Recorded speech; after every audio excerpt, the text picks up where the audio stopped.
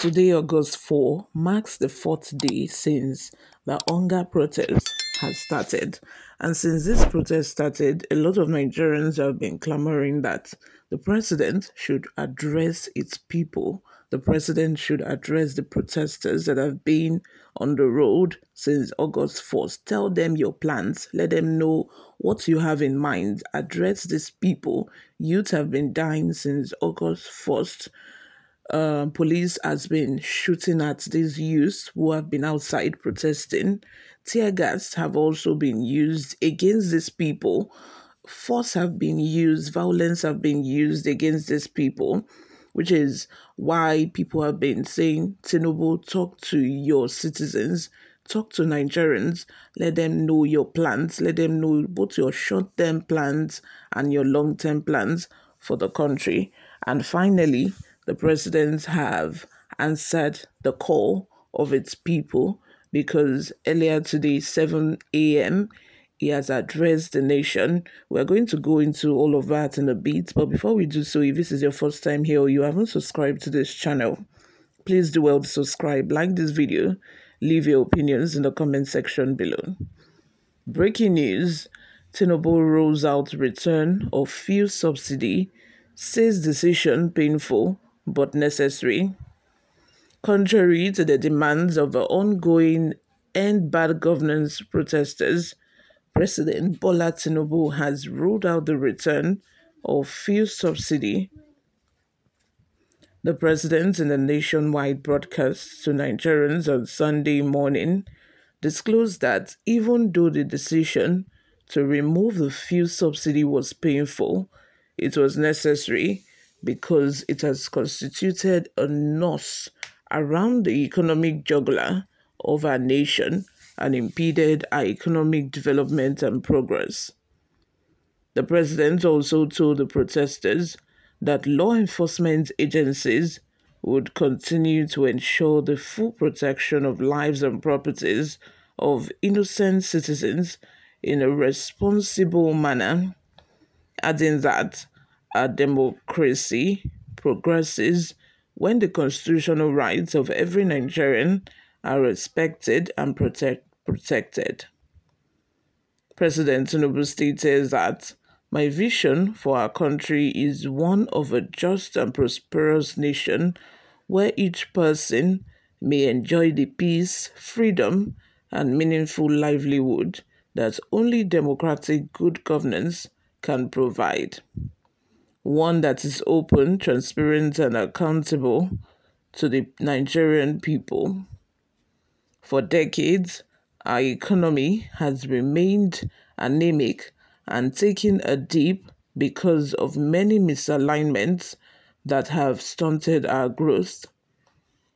Just over a year ago, our dear country, Nigeria, reached a point where we couldn't afford to continue the use of temporary solutions to solve long term problems for the sake of now and our unborn generations. I therefore took the painful yet necessary decision to remove fuel subsidies and abolish multiple foreign exchange systems which had constituted a noose around the economic jugular of our nation and impeded our economic development and progress. He said these actions blocked the greed and the profits that smugglers and rent seekers made. They also blocked the undue subsidies he had extended to our neighboring countries to the detriment of our people, rendering our economy prostrate.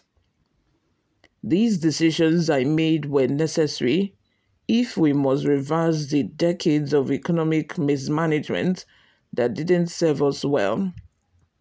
Yes, I agree, the box stops on my table, but I can assure you that I am focused fully on delivering the governance to the people, good governance for that matter.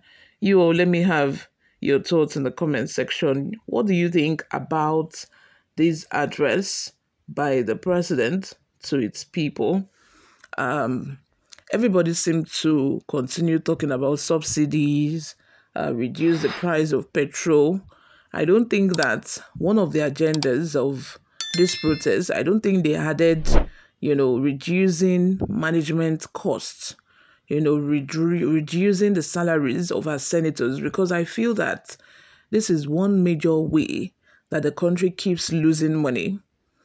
You now, the president say, said that uh, subsidy cannot be returned because they have discovered that, you know, this is one of the loopholes in which, you know, people were just, you know, looting the government even the neighboring countries that, that, that are not even part of Nigeria, they were benefiting from this subsidy. It's as if Nigeria was, wasn't only subsidizing petrol for its people, we're also subsidizing petrol for all of these uh, neighboring countries. But I also feel that, you know, it's high time that the government reduces its administrative costs.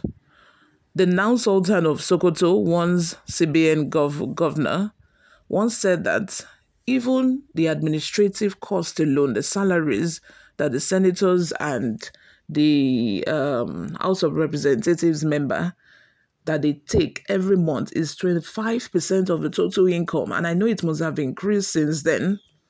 25% of the national income, of a country's income, is being taken by just people who are not even up to 700. They are not even up to one quarter of the total population of our own country. The money meant for a whole country is what is being taken by just not even a fraction, a section of people, a group of people are the ones taking this money.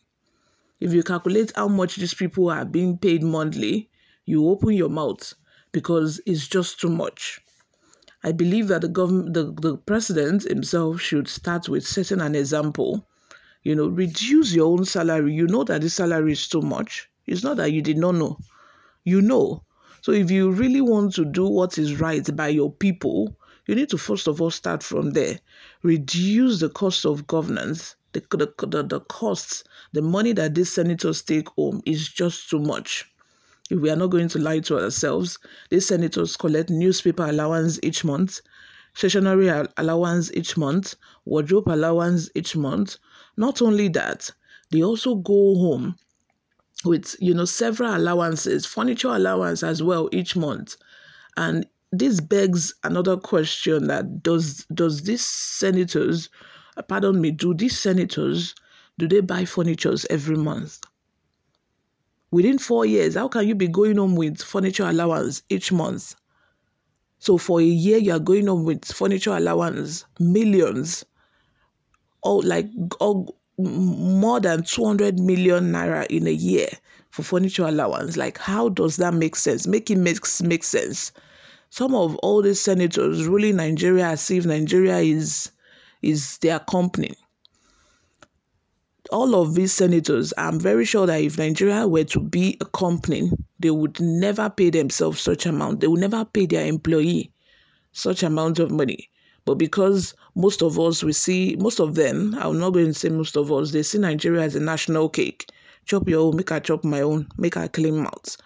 That is just it. So I feel that, like, if a president wants to actually lead by example and you know send a message across to these protesters that I feel you, I feel your pain, first of all, start in house.